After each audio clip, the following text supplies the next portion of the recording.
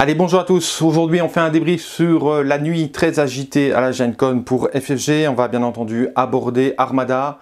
On va annoncer euh, les sorties X-Wing et puis je suis obligé de revenir sur euh, Star Wars Légion, même si la plus grande partie des informations et notamment les cartes seront dévoilées dans la nuit de vendredi à samedi, mais vous savez que on en parlera dès que ce sera possible. En attendant, n'hésitez pas à commenter à liker et puis à partager la vidéo et à vous abonner. Si ce n'est pas déjà fait. Allez, je vous emmène en voyage, c'est parti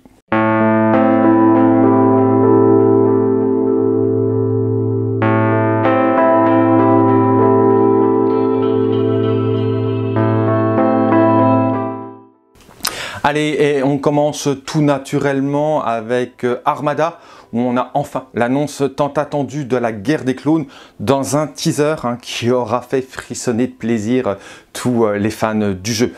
Alors, je sais que ça a également soulevé pas mal d'inquiétudes et je suis là pour vous rassurer. On le sait, depuis maintenant pas mal de temps, hein, on aura donc un double corset, un pour la République euh, et un euh, pour les séparatistes. Et en fait, on reprend exactement le même modèle que celui qui est proposé pour X-Wing.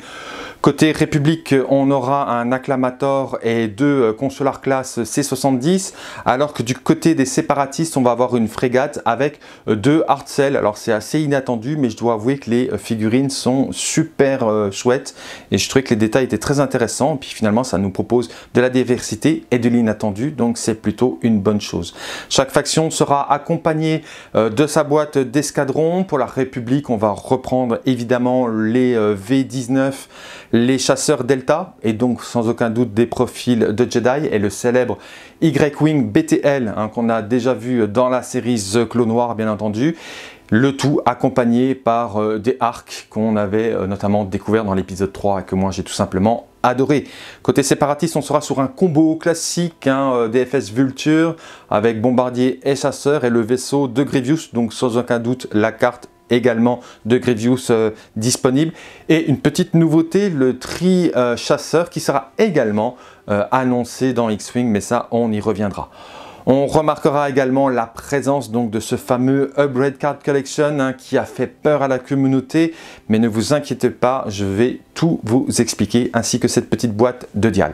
Alors on commence avec le Upgrade Card, l'idée c'est juste de normaliser en fait la taille des cartes. Vous le savez, hein, euh, pour euh, Star Wars Armada, on est sur trois formats de cartes. Hein. Les grands vaisseaux sont au format tarot, les escadrons sont au format euh, carte normale et les améliorations sont en mini America. Ça ne pouvait pas durer, on l'a vu dans X-Wing, ils ont déjà pas mal normalisé l'impression sur un format de carte unique. Donc en fait, ils vont le faire également pour, pour Armada en nous proposant à la fois les améliorations, les escadrons et les vaisseaux sur le même format de carte qui est un format de carte classique mais vous n'êtes absolument pas obligé de les racheter. Là, je parle à ceux qui ont déjà joué à Armada. Vous n'êtes en rien obligé de racheter cette upgrade card. Il n'y aura rien de plus. C'est la même proposition que pour Star Wars Légion lorsque The Clone Noir est sorti afin de permettre aux nouveaux joueurs de ne pas avoir un gap trop important au niveau des extensions. On leur a proposé des upgrade cards qui leur permettaient d'acquérir les cartes qu'ils n'avaient pas pu acquérir dans les boîtes qui étaient disponibles autour d'eux. Donc non, Hein, vous n'avez rien à racheter si vous êtes déjà possesseur de vaisseaux et de boîtes, voire de l'intégralité de la collection, sauf si, euh, pour un point de vue purement cosmétique, vous voulez avoir le même format de carte sur la table. Euh, ça peut s'entendre, mais euh, ce n'est absolument pas une obligation et il n'y aura pas d'informations supplémentaires ou divergentes. Par contre, euh, pour ceux qui euh, n'ont pas le jeu, bah, c'est une très très bonne nouvelle et une très bonne pratique commerciale que de nous proposer en fait cette solution parce que ça vous permet d'acquérir les cartes sans devoir faire la course au rachat de vaisseaux qui est de toute façon euh, totalement inenvisageable et de vous permettre de vous lancer dans The Clone Noir sans devoir acheter les anciennes, les anciennes factions et les anciennes sorties que vous ne jouerez pas nécessairement.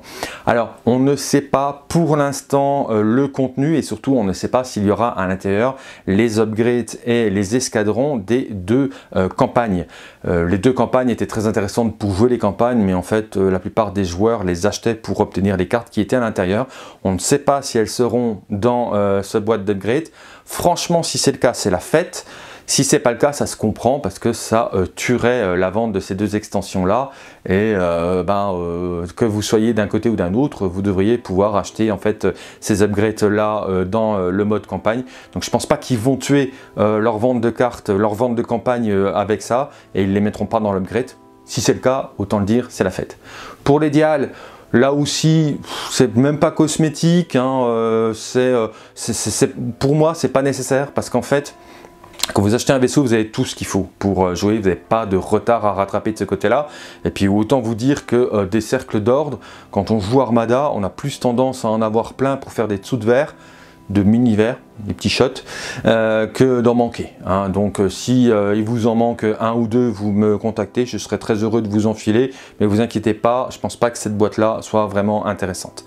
Donc voilà, moi, à titre personnel, je vais prendre les cartes parce que en fait, j'ai perdu toutes mes cartes d'extension dans un déménagement, tout font dire que j'ai pas mal les boules, et ben, je priais tous les dieux que cet upgrade soit présent dans la nouvelle proposition. C'est le cas, j'en suis heureux. Bon après, je le savais plus ou moins puisque je connaissais cette notion de format de carte qui allait changer. Alors vous allez me dire qu'on peut jouer avec des applis, mais moi j'aime bien avoir les cartes sous les yeux. Je suis quand même nettement plus efficace avec des choses posées sur la table que sans. Voilà.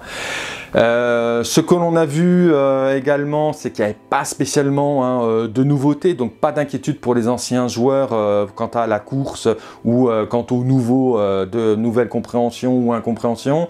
Il n'y a pas de nouveaux ordres, de toute façon les nouveautés elles ont été apportées par les anciennes sorties, notamment la salve, elles sont toujours présentes et on a vu hein, des cartes de vaisseaux qui donc du coup sont plus petits, elles sont plus au format, elles sont plus au format tarot. Et en fait ce qui se passe c'est que l'image elle bascule derrière, ainsi que les améliorations qui passent à l'arrière de la carte. On a une carte recto verso au lieu d'avoir une carte avec un, avec un format euh, uniquement sur un, sur un recto. Voilà, il n'y a rien euh, d'inquiétant euh, par rapport à ça.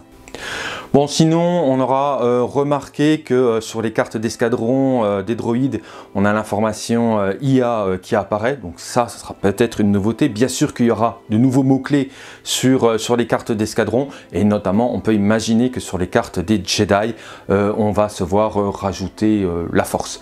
On notera également que les escadrons seront sur des plastiques cette fois-ci de couleur, donc bleu pour les séparatistes et rouge pour la République. ça c'est pas mal si vous avez la flemme de les peindre, ça permet quand même de mieux les reconnaître sur la table parce qu'on avait une couleur unique dans le jeu et c'est vrai qu'à un moment ça se finit par un gros pâté, c'était difficilement identifiable. Euh, on a aussi une belle amélioration au niveau du package puisqu'on passe sur un package de type Légion et c'est vrai que la boîte euh, initiale euh, du jeu elle était quand même un petit peu vieillotte et là elle bénéficie d'un nouveau format, c'est plus lisible, c'est plus classe, c'est plus quali donc c'est très bien. Côté prix on est sur 100 dollars la faction, 25 dollars pour les escadrons et euh, les cartes d'amélioration. Bon, ça s'entend, hein, euh, c'est euh, des prix qui sont envisageables. Espérons qu'il euh, y aura un ratio euro et que ce ne sera pas 1 euh, dollar égale 1 euro, mais bon, on y reviendra. Euh, sans doute jamais à cette logique qui devrait s'imposer. Quoi qu'il en soit, pour ce qui est de la traduction, puisque j'imagine que c'est la question que vous allez me poser, à ce jour, il n'est pas question de traduire ces extensions, tout simplement parce que le jeu initial ne se vend pas, que Asmodee France en a plein sur les bras. Alors je sais, vous n'achetez pas le jeu pas parce que il n'est pas suivi, parce que les extensions manquent, parce qu'elles ne sont pas réimprimées. Et donc, comme elles ne sont pas réimprimées, et eh bien, vous n'achetez pas le jeu. Et comme vous n'achetez pas le jeu, ben, vous savez quoi? Elles ne sont pas réimprimées. Et puis, comme elles ne sont pas réimprimées, ben, vous n'achetez pas le jeu. Et comme vous n'achetez pas le jeu, ben, elles sont pas réimprimées. Et ça pourrait durer comme ça. Donc, c'est un jeu de chat et de la souris. Euh, l'éditeur ne veut pas euh, mettre les pattes là-dedans parce qu'il estime que c'est beaucoup trop risqué. Il lui en reste trop sur les bras. Alors, bien sûr, il a traduit Onager et Starhawk. Mais ça, dans son idée, c'était de se dire, au moins si je traduis ça, ça va peut-être vendre 2-3 boîtes en plus, mais autant vous dire que cette nouvelle ère euh, du jeu ne va pas lui permettre euh, de vendre ces boîtes, bien même moins, hein, puisqu'il va plus vendre cette nouvelle ère que l'ancienne. Donc, eh ben, il va pas, il va pas, ils vont sans doute pas euh, traduire cette section-là. Je trouve ça dommage parce que moi je pense que comme pour Star Wars Légion, cette nouvelle ère va relancer le jeu, en tout cas du côté des Anglais.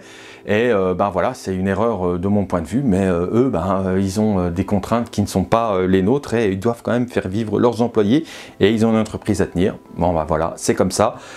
Bon, on peut quand même aussi imaginer qu'il change d'avis et ce serait pas la première fois, donc affaire à suivre.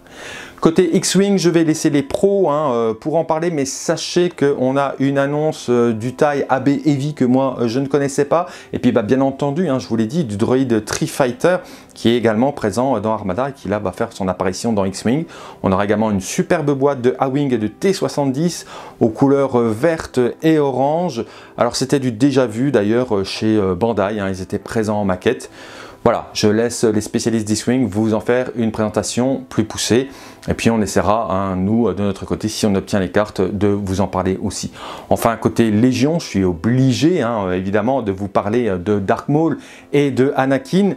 Alors c'est vrai que ça fait longtemps qu'on le sait, hein, euh, dans les, euh, euh, les sarlacs, on n'a pas été très light, on, vous a, on a été un peu bourrin, on utilisait des exemples, et les exemples qu'on utilisait étaient quand même aujourd'hui assez parlants. On a été un peu, un peu lourd, mais bon, voilà, c'était attendu, tout le monde le savait dans la communauté, Anakin, Maul, euh, c'était euh, presque l'arlésienne. Euh, Anakin était attendu depuis très très très longtemps, Maul était espéré de tous. On n'a pas vu les cartes, elles seront présentées vendredi, dans la nuit de vendredi à samedi. Sachez qu'elles sont d'ores et déjà euh, traduites par FFG et que dès qu'elles seront euh, révélées, on vous les présentera évidemment sur la page. Les figurines sont superbes, bien entendu ce sont des héros donc ils sont en mode euh, double pose. Et puis on notera également l'apparition des spécialistes pour les séparatistes et les clones. Là aussi c'est un rattrapage puisque c'était déjà présent pour l'Empire et pour la Rébellion c'était assez injuste de voir ces deux factions pouvoir notamment soigner euh, leurs figurines et les faire repopper alors que deux autres factions étaient exemptes euh, de cette possibilité là. Donc c'est tout naturellement que euh, ces deux packages vous seront proposés. Moi, vous savez, j'ai un petit peu de mal avec euh, cette volonté de ne jamais faire d'asymétrique dans le jeu. Je trouve que ce serait une bonne chose pour le diversifier. Toujours apporter comme ça exactement les mêmes choses en miroir, je suis pas fan, mais ça se comprend. C'était quand même assez euh, bourrin pour les joueurs de ne pas pouvoir euh, utiliser ces pouvoirs-là en fonction de la faction qu'ils utilisaient. Même si je trouve que les clones, ils n'ont pas trop besoin qu'on les booste encore plus qu'ils ne sont. Voilà, n'hésitez pas à me donner vos avis, vos impressions, euh, vos euh, coups de cœur et vos coups de gueule en commentaire euh, sous la vidéo. J'espère que celle-ci vous aura permis d'y voir un petit peu plus clair. Un dernier point, les sorties qui avaient été annoncées par José dans le live de Mathieu, notamment les traductions de Bosque et de Sabine des Town et des soldats de Hoth. Pour l'instant, je vous le dis, on n'a pas d'informations, on n'a pas de date, on ne sait pas où ça en est. Donc moi, euh, je trouve que ça sent mauvais pour 2020. Euh, je pense que ça sortira plus sur euh, PAC 2021 parce que pour l'instant on n'a aucune information sur le fait que ça a pu être samplé, qu'il y a eu des retours, qu'il y a eu des demandes d'impression. Enfin, en tout cas, moi de ce côté-là, j'ai aucune info. Je sais que vous êtes nombreux à me demander quand est-ce que ça va sortir. Je vous le dis tout net, c'est pour 2021, n'y comptez pas pour 2020, euh, ça me paraît au niveau des délais beaucoup trop tard à ce jour pour y arriver. Normalement, ils sont engagés à le faire, on croise les doigts, et puis de toute façon, sachez qu'ils sont déjà en train de travailler sur les quatre prochaines euh, extensions de Star Wars Legion, mais bien entendu, je n'ai rien le droit de vous dire. Mais c'est du bon. Allez, en attendant, il me reste à vous souhaiter de bons jeux, et puis surtout de bons jets, pas parce qu'il n'y a que ça pour votre type d'en face. A très bientôt et bonnes vacances. Ciao